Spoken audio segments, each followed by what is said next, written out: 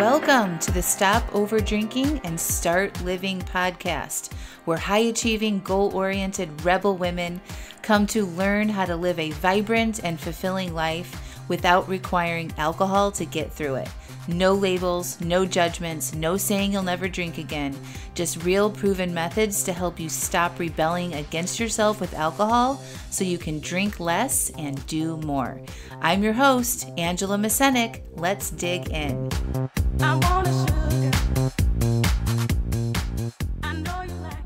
Welcome to episode 197 Being Unmotivated.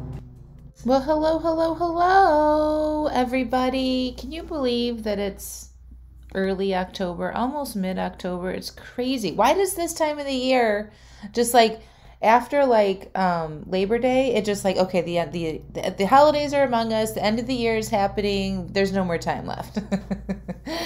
That's where my mind wants to go. But the truth is there's actually quite a bit of time left. We have um two and a half months left of the year, which so much can happen for anybody with anything, with any goal that you're working on. So, the today's um, podcast is called Being Unmotivated.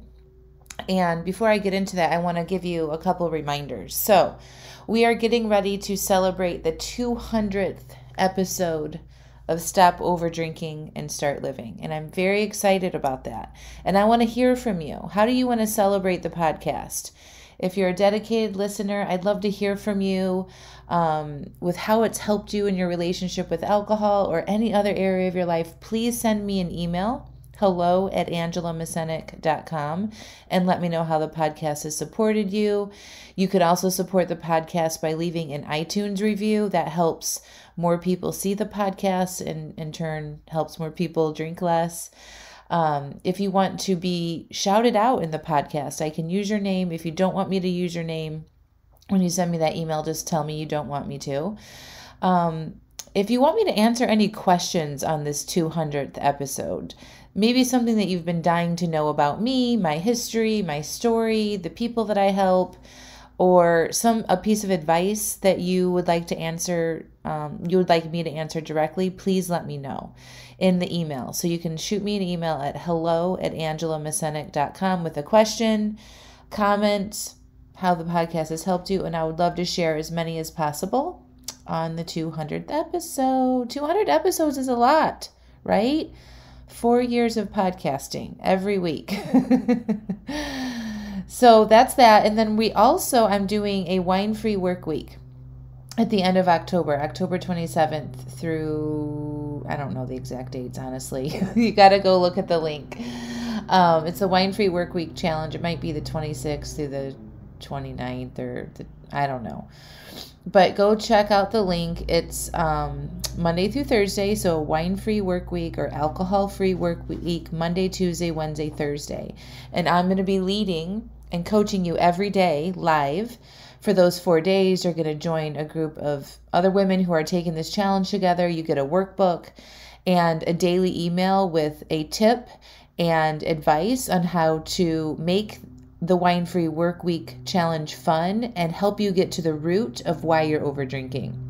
And if your first response is like, F no, I don't think I can do that, you should do it. Okay um, because there's no failing here. It's it's fun to take a challenge. It's fun to stretch yourself, and you will be a part of something that's pretty moving and inspiring, and you will not feel alone in what you're struggling with. And you get to come and get direct support by me for 100% no cost. Okay, so make sure you click the link and sign up for the wine free work week challenge. Okay, so I want to talk to you all about being unmotivated. And this came up because I was traveling for almost two weeks in Italy and I took that time off work. And I really let myself relax. And that's not really easy for me to do. It takes me a few days to have boundaries with myself. And, you know, when I want to think about work or want to go check my email or get in my Facebook group or something like that, I'm like, okay, no, you said you didn't do that. And then it, after a few days of me really holding myself to my own boundaries with taking time off, then I'm really able to get into it and relax. And it was so amazing to not think about anything. Like everything on my trip was taken care of for me. I didn't have to decide what to eat, where to go, um, plan anything, um, map out anything. Like it was, I was totally taken care of, and it was so so good for me. You know, because I have three kids.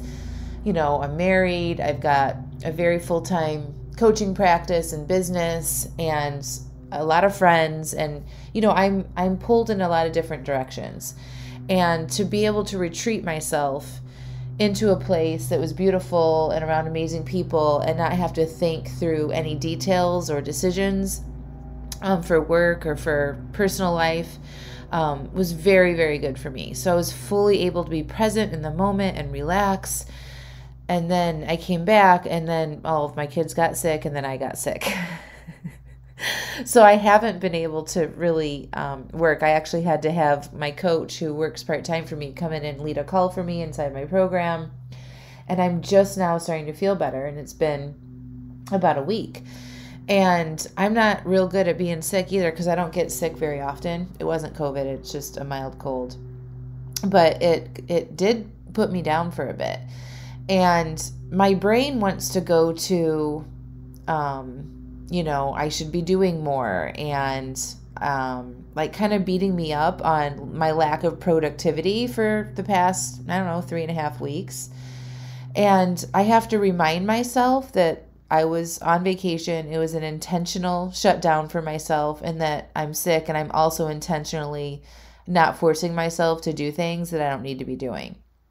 And that takes a learning um, how you you know like being able to um, be aware of your thinking and how you feel. So like i noticed that i was feeling unmotivated and like not really excited to do anything. And you know i had to remind myself that you know i don't need to be doing and my value isn't created on how much i produce in a single day or whatever right and that's hard sometimes because, like, if we're not really aware of what we're thinking or how we're feeling, we can't really diagnose some of that stuff. So I noticed I was feeling kind of flat, kind of unmotivated. And I you know, I have to get aware of my thinking so that, you know, that's a, a date with myself in my journal. And I dump out all of my thoughts about um, my work and health and all the other things, right? And the thing about motivation, you know, besides how I've been feeling recently, um, is that motivation doesn't always happen, right? So, like, usually we feel motivated when we see something exciting and we want to take some action towards it. Maybe it's um, we're motivated to plan a trip. Okay, so we really want to do something. We see it, we're like, yes, I want to do that, and you start planning. Okay, so that's like you're naturally motivated to go do that because there's some excitement involved and whatnot. Maybe you just bought something and you're motivated to wear it or take really good care of it or something. Or maybe you're motivated to stop over drinking. Um, because you you know participated in wine free work week challenge or you just joined my program right and you're feeling yes this is going to work and yes i'm going to do this and blah blah blah blah blah right and like you're really feeling that motivation but I think I've talked about this before that that motivation feeling doesn't last forever, right? It's we think it's a problem. I hear from so many of you, it's just I'm just not motivated. I'm just not motivated. And I think that thought itself should be evaluated. Um, being unmotivated isn't necessarily a problem. You can get yourself into action mode, into doing things, even while you're feeling unmotivated. And I do this a couple different ways. If you notice that you're not naturally like driven to go do the things that maybe you promised yourself that you would do. So maybe if you're one of my clients that's, you know, making a weekly drink plan at the start of the week, attending a coaching call, um, doing some work in, in one of your monthly workbooks, journaling, getting outside and moving your body, you know, making a food plan, doing some evaluations when you're not following through on yourself. If you're not doing some of that stuff, and you notice it's been, you know, a week or so or two weeks, and you're like, I'm just not motivated.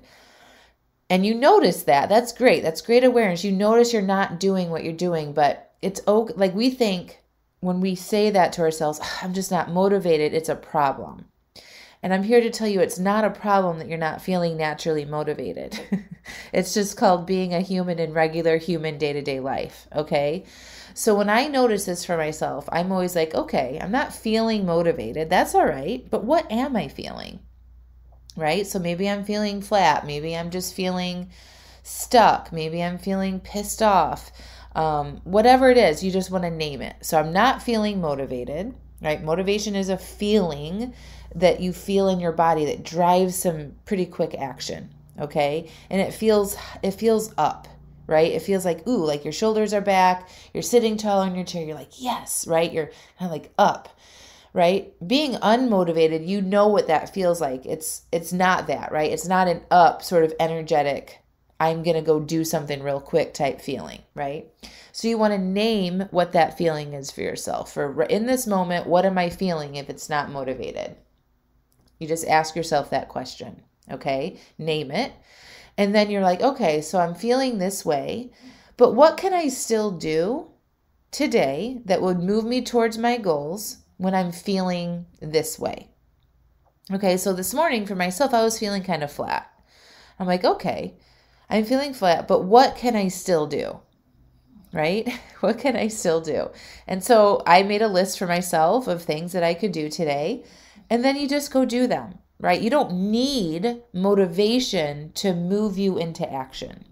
And to think that you will, or to think that you need to find your motivation again, is just, it's just, they're kind of like brain errors or lies that your brain is trying to tell yourself. It doesn't work and it doesn't really make sense.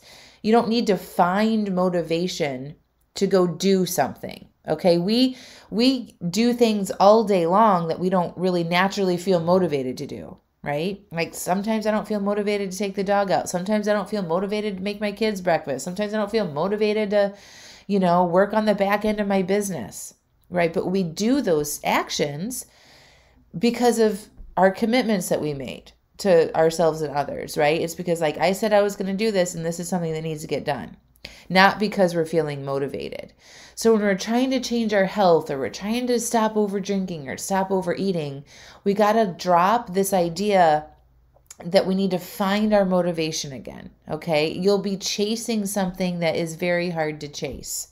When it happens and you are feeling motivated, that's awesome. Go for it. Go big. I actually have a podcast on momentum which like you know when you're when you're like at the beginning of the year or you set a new goal or something you want to take advantage of that motivation and like really get some good habits in place because it's not going to last forever. And like the more you can like really lay the groundwork down that's awesome when you're naturally feeling this way. But you can try to manage your mind to feel more motivation but i have found that that doesn't really work. I would love to hear from you if you have found yourself feeling that natural high of motivation by changing the way you think about stuff.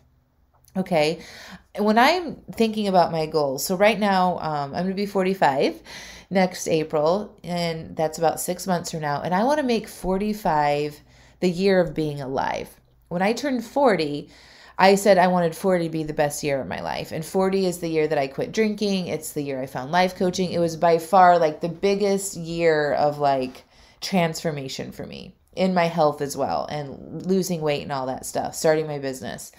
And 45 is going to be alive. Like I want to be I want to be fit as F. You know, I want to be like I've had always had this dream of just like being really muscular and lean and um super super fit and I've never really tried to go for it. You know, I'm a runner and I run half marathons and train and do all this kind of stuff, but I've never been one that has really lifted a lot of weights and tried to like change my body composition. And this has been a quiet whisper of mine for years.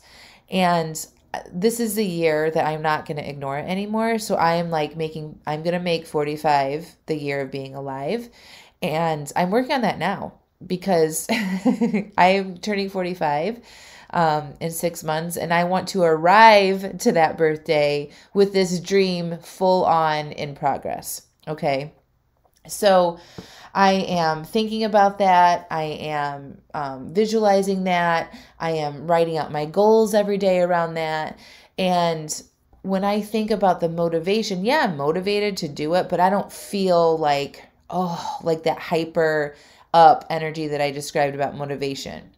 So when I'm creating a goal and I'm intentionally thinking about that goal every day, I'm more um, tapping into the feeling of like determined or belief or committed. Those are more steady, um, sustainable, easily creatable in how I think type feelings versus motivation. So my thought processes to um, achieve my goals because our thoughts create our reality. Our thoughts that we have about our goals create those re- those goals actually happening. When I do that for myself, I'm choosing feelings like committed, um, belief, like really like a I feel it in my bones type feeling, belief that that will happen dedication or commitment because those are so much easier and steadier and I can think that to create that feeling in my body pretty much anytime. But motivation for me doesn't feel like that. I can't, oh, I'm not feeling motivated right now. I'm feeling maybe flat. Come up with a thought that's like super energizing and motivating. So if you've done that, let me know. But just a little bit about my process and what I'm working on. It's like my thoughts are like, I'm doing this. Um, this is happening. Like they're very simple and very like committed, like there's no question that this is going to work for myself. Does that make sense? So being unmotivated isn't a problem to recap all of this. If you're if you have started something new or you're in the process of changing your relationship with al- alcohol or losing weight, whatever it is that you want to be doing, and you notice you've lost that initial motivation to do the work, acknowledge that. Be like, I'm not feeling motivated. So, what is it that I am feeling? Name your feeling. Okay. And then ask yourself, okay, even when I am feeling this way, what can I do today that will help me move towards my goal? Because it's not some big thing that we're going to do, it's our little daily activities that we do that in the grand scheme of things don't really matter, right? Like you going to the gym one day isn't going to get you into a bodybuilding um, competition, right? But if you went to the gym and lifted weights every day for six months, that might be a reality. But focus on the little things that you can do today, no matter how you feel, okay? I'm talking emotionally. Of course, if you're sick, you need to take a break, if there's other things going on. But generally speaking, we're not going to feel motivated to do these things on the regular. But you can still override our instinct to to take action from your emotional state by saying, I acknowledge how I'm feeling. I'm still going to do these three things today. Okay? Just like we do those other things for those other people when we don't feel like doing it either. Okay? You deserve to do those things for yourself even when we're not feeling super motivated. Okay? So stop thinking that being unmotivated is a problem. Start believing in yourself. Start following through on those commitments you made to yourself, even when you're not feeling like it. Okay, you can even tell yourself, I'm not feeling like it today, but these are the things I'm going to do anyway. And once you start really like exercising that muscle, following through, even when you're not feeling like it, you'll make so much more progress towards your goals than waiting for this idea of motivation to come to you. All right, my friends, don't forget to sign up for Wine Free Work Week at the end of the month. There will be prizes. It will be fun. We're bringing the heat. It'll be a great time for you to really have a micro focused few days with live interaction for me to get support to look at your relationship with alcohol. Taking a four day break will help you see the reasons why you're drinking, help you move through some obstacles, and you will feel super empowered by the end of those four days. All right, my friends, talk to you soon. Bye.